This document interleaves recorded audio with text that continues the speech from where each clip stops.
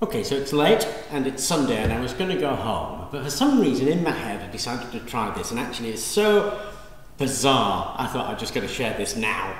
Um, we were doing that thing on the carbon cell, the all carbon battery, and of course when you do these kind of things, what you do is you fall back on what you know previously. So if you're going to make a battery, well you need an anode, you need the cathode, you need a separator and you need an electrolyte, and it makes a lot of sense and that's how we constructed it.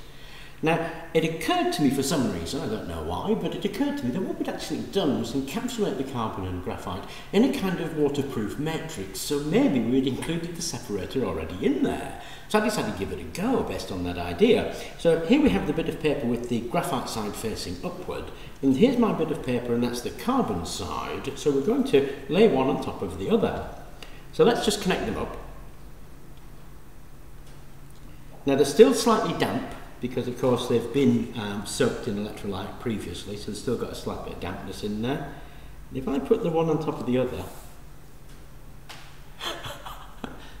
I mean, look at that. That's the volt reading, incidentally, 0.432 volts. Um, that's mad. There's no separator in there. That's two layers of carbon straight on top of each other, different kinds of carbon, slightly dampened with an electrolyte and it's generating 0.436 volts. Anybody get any ideas? I haven't. I mean, what is going on in there? But how fascinating is that? We can actually construct an all-carbon battery without a separator. That's just going to be wild, really. It's so bizarre, I thought I'd share it with you right now.